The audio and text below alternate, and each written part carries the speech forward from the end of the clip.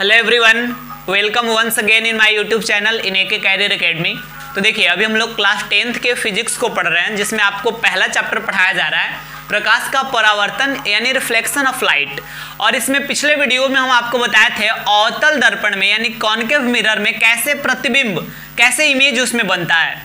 और उसके ट्रिक्स भी बताए थे कि उसको कैसे हम याद रखेंगे। और अगर आप पिछला वीडियोस नहीं देखें तो उसका लिंक हम डिस्क्रिप्शन में दे दिए वहाँ से आप देख सकते हैं। आज के वीडियो में हम आपको बताने वाले हैं, उत्तल दर्पण में प्रतिबिंब किस प्रकार बनता है। तो देखिए जब हम अवतल दर्पण के बारे में समझाए थे तो वहाँ बताए थे कि अवतल दर्पण में छह कंडीशन था। छह स्थितियाँ थी जिसमें प्रतिबिंब बन रहा था, लेकिन उत्तल दर्पण में मात्र एक ही कंडीशन है, मात्र एक ही स्थिति है।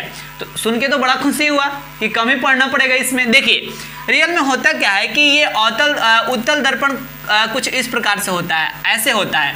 अंदर से रजतित जब किया जाएगा, अंदर से, तब क्या बनेगा? उत्तल दर्पण। ये हम आपको गोलीय दर्पण जब पढ़ा रहे थे तो वहीं पे बताए थे। इसके सतह का जो मिडिल पॉइंट है, इसको ध्रुव कहेंगे। ये हो गया आपका मुख्य अक्ष, और इसमें यहाँ पे होता है फोकस और यहाँ पे होता है वक्रता केंद्र। बिकॉज़ खुद से सोचिए, अगर इसको आप राउंड ले जाएँगे गोल आगे की ओर, ऐसे गोलीय दर्पण जब इसको बनाएँगे तो सेंटर इधर ही नहीं पड़ेगा। इधर तो सेंटर आएगा नहीं।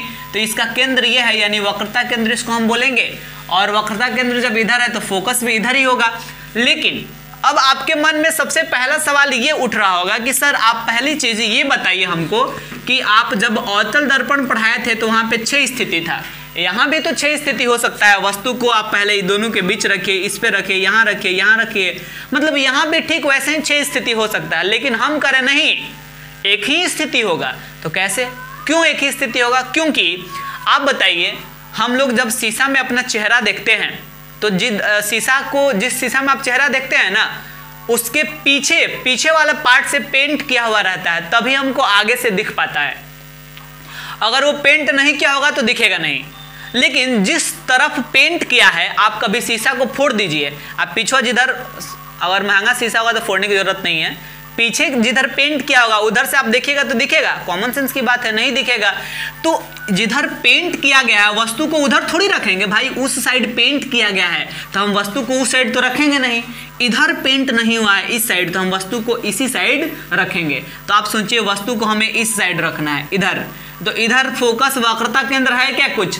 इधर तो कुछ नहीं है तो जब कुछ नहीं है तो मात्र कहीं भी आप वस्तु को रखो, ध्रुव, यहाँ ध्रुव है, और इसके बाद इधर कुछ है नहीं फोकस वक्रता के अंदर कुछ भी नहीं है तो वस्तु को कहीं भी एक बार रख लो तो इसलिए यहाँ पे मात्र एक ही स्थिति बनेगा।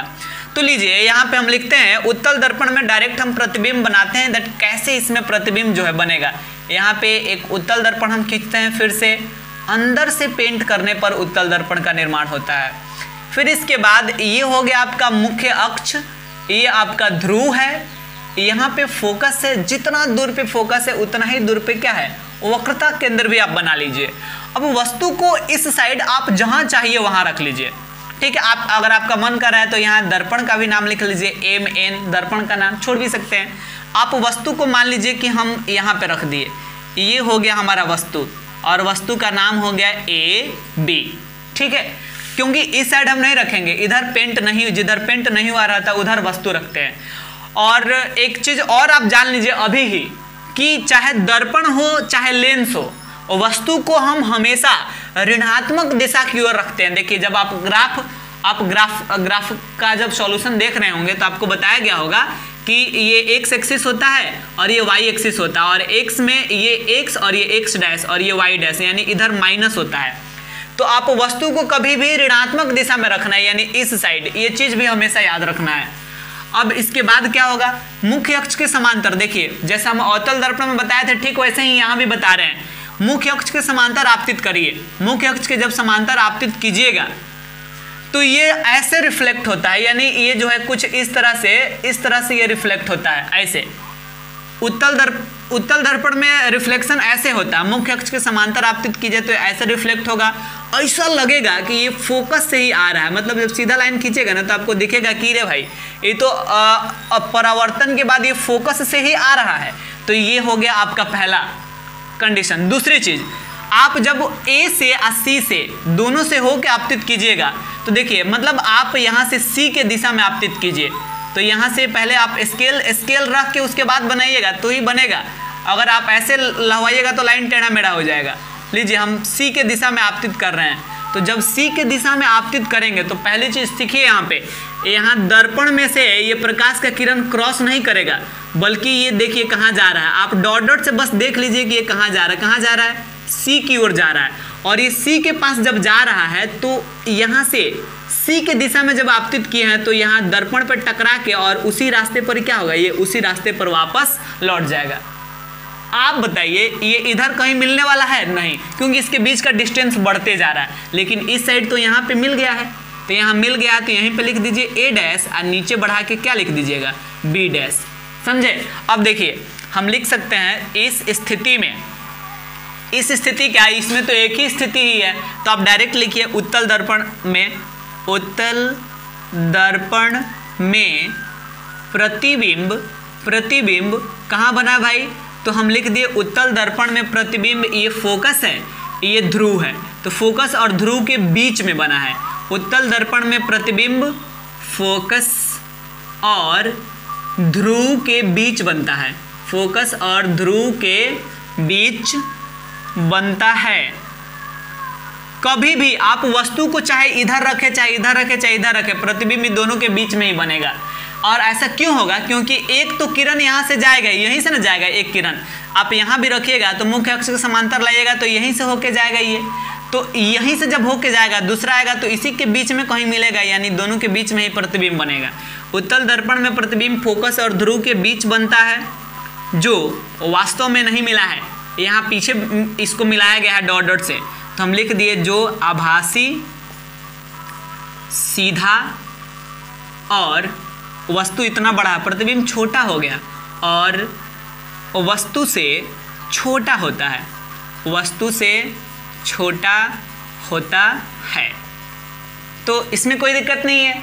तो आपसे पूछा जाए, उत्तल दर्पण में बने प्रतिबिंब को स्वच्छ किरण आरेख से दिखाएँ तो आपको ऐसे दिखाना पड़ेगा और इस चीज़ को लिखना पड़ेगा।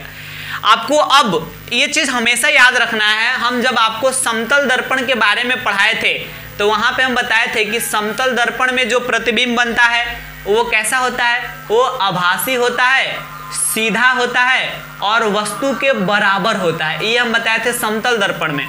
जब हम आपको अवतल उतल ही देख लीजिए। यहाँ उत्तल दर्पण के बारे में अभी समझाया तो यहाँ पे बताया कि प्रतिबिंब आभासी होता है, साथ ही साथ प्रतिबिंब सीधा होता है और प्रतिबिंब वस्तु से छोटा होता है। और जब अवतल दर्पण को बताए थे तो ये यहाँ बताए थे कि इसमें प्रतिबिंब जो बनेगा, ये आभासी भी बनेगा और वास्तविक भी बनेगा। ठीक है? साथ ही साथ इसमें प्रतिबिंब उल्टा भी बनेगा और सीधा भी बनेगा। अवतल दर्पण में दोनों प्रकार का प्रतिबिंब बना था। उल्टा भी बना था और सीधा भी बना था। इसमें छोटा भी प्रतिबिंब बनेगा, बड़ा भी प्रतिबिंब बनेगा और बराबर भी प्रतिबिंब बनेगा। तो यहाँ से तरह तरह के क्वेश्चन जो है क्रिएट होते हैं। बहुत सारे ऑब्जेक्टिव क्वेश्चन जैसे मान लीजिए कि अगर आपसे पूछा जाए निम्नलिखित में किस दर्पण में आभासी और सीधा प्रतिबिंब बनता है?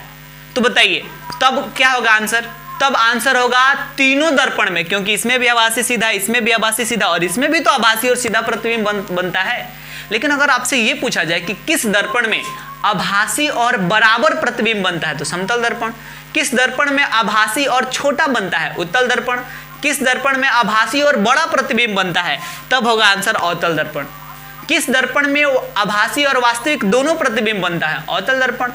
वह कौन सा दर्पण है जिसमें हमेशा छोटा ही प्रतिबिंब बनता है? हमेशा। तो उत्तल दर्पण। किस दर्पण में हमेशा बराबर बनता है? समतल दर्पण। किस दर्पण में बराबर छोटा, बड़ा सब बनता है? अवतल दर्पण। तो यहाँ से मतलब बहुत सारे क्वेश्चन क्रिएट होगा। तो उम्मीद करते हैं कि आपको आज का वीडियो भी समझ में आया होगा। आज हम लोग इतना ही रहने देंगे और अगले वीडियो में हम आपको बताने वाले हैं अवतल दर्पण और उत्तल दर्पण। इस दोनों के यूजेज के बारे में, इसके कौन कौन से उपयोग है, इसका कहाँ कहाँ यूज़ किया जाता है?